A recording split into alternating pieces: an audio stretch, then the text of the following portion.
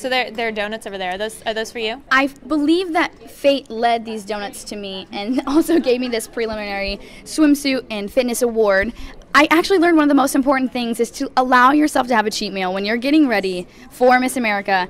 You cannot possibly spend. You, I actually started the Monday after I was crowned Miss Clinton County in July of 2014. So if you can imagine going a year and a half without ever splurging, I think you would go crazy. I think your brain would just literally go crazy. So You wouldn't this, be happy anymore. No. You couldn't smile So this is point. the importance of a cheat meal. You can have a donut hole if you want to, and you can still be a swimsuit prelim winner because Exactly.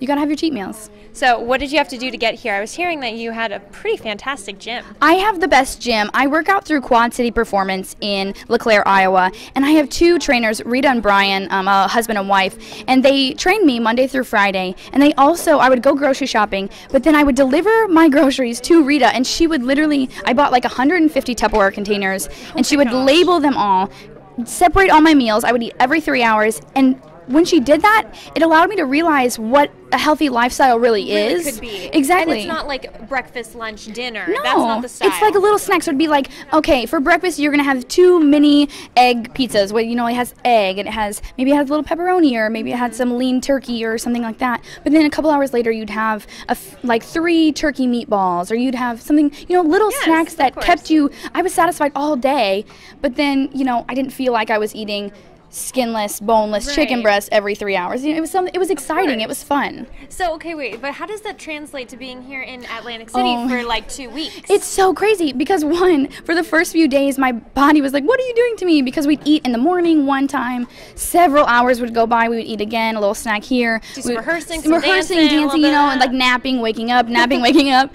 But what I had to learn is that you kind of have to roll with the punches, and that's you know, Miss America has to do that. I'm not gonna if I am lucky enough to be Miss America, I'm not gonna be able to have Rita make all my my meals for me. I'm not gonna be able to eat every three hours. So it's about finding those snacks that you love. I love almonds. I love like you know trail mix and granola bars and bananas, like things you can just throw in the bag.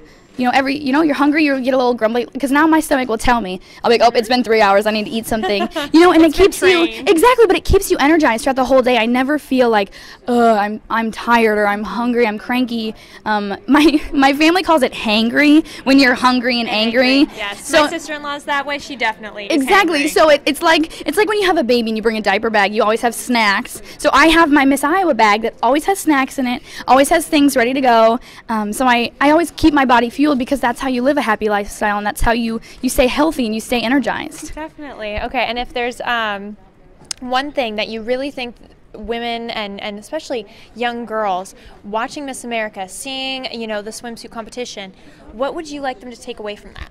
I think I may have touched on this last time, um, but I always go through the saying, "You're enough." If you asked me even six months ago if I would be standing here before you holding a swimsuit award from Miss America, I would say you were nuts. but when you put your mind to something and you truly believe that you can achieve it, I know sometimes people think, oh, there's a pageant girl saying that cliche thing about believing in yourself. But when I won Miss Clinton County, I was 25 pounds heavier, 12% you know, heavier in my body fat percentage. And now I'm standing here because I knew I could do it. I knew I had the strength mentally to do it. I just needed that push. So find those people that will support you. Find the people that love you and love what you want to do, and you can do it because you are enough. Everything you bring to the table is enough. That's wonderful. Well, congratulations. Good luck on Sunday. Oh,